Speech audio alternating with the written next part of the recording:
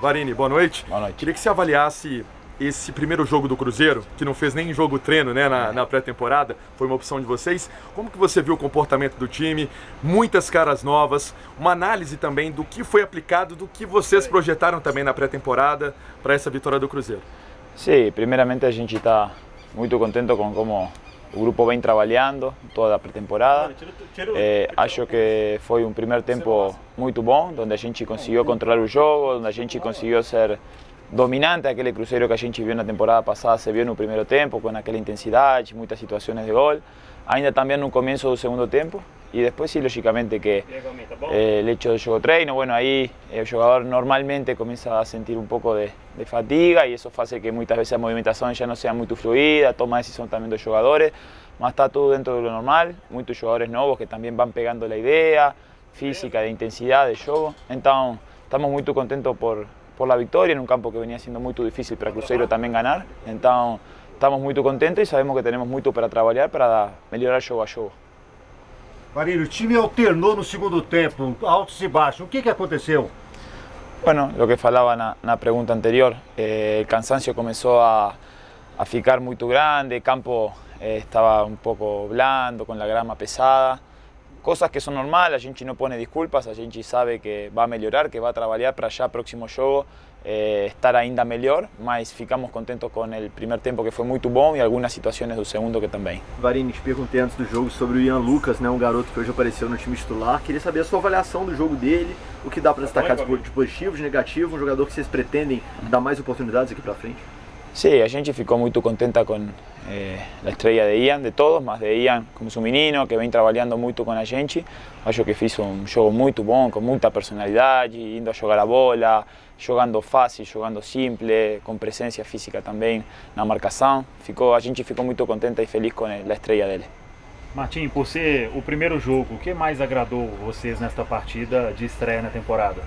Bueno, principalmente lo que a gente fez no primeiro tempo. Acho que a gente viu aquele Cruzeiro da temporada passada, ainda melhor com muito posicionamento ofensivo, com muito cruzamento, muita área preenchida.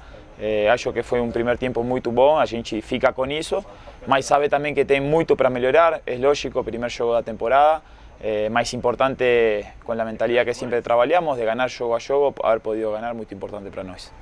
Cruzeiro perdeu dois jogadores durante a pré-temporada. Esses atletas que saíram hoje lesionados preocupam? Bueno, estamos esperando agora a avaliação da parte médica. Sempre preocupa quando tem situações do jogo que fazem jogadores sair. Aconteceu que as últimas trocas tiveram que ser por situações físicas, então eh, hay que seguir trabalhando. Temos um plantel eh, com muitos jogadores que lo podem fazer, que estão preparados, então já vamos ficar focados no próximo jogo.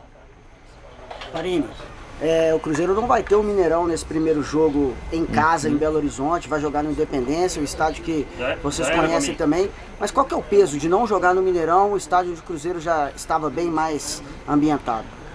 Sim, a gente, como falei, a gente não põe desculpas. Eh, ano passado tocou jogar no Independência, a gente ganhou. Tocou jogar no Mineirão também, a gente ganhou. Eh, sabemos da relação que a torcida tem com o Mineirão, mas eh, a gente só está focada em fazer o próximo jogo melhor que o de hoje. eh, y seguir ganando. No importa el estadio que toque jogar, a gente vai estar focada no, no, no que fazer dentro do campo para dar outra alegria à torcida. Varini, esse trabalho de vocês é, chama atenção porque alguns posicionamentos de atletas, por exemplo, o Bilu, que é um atacante, fez um ponta pela esquerda, se eu estiver uhum. errado você me corrige. Uhum. O Ramiro fez uma função de um zagueiro pela direita, ele que é o meio campista, meio que é do Zé Ivaldo fazer ano passado. Queria que você explicasse essas movimentações que vocês também projetam para esse Cruzeiro. Sim, isso a gente, logicamente com Paulo, a gente trabalha muito, eh, sabe que nossa forma de jogar, por exemplo, o caso de Ramiro, se você olha o mapa de calor dele dentro do campo, foi no meio campo, porque é o jeito que a gente joga, então eh, sabemos que também por momentos os jogadores têm um processo de adaptação naquelas posições, Eh, Bilu é um cara com muita velocidade, muito bom um, uno contra um, tem perna canhota para fazer bons cruzamentos. Então a gente vê as qualidades dos jogadores e principalmente com muito trabalho vai dando distintas oportunidades para poder ter um elenco completo. Né?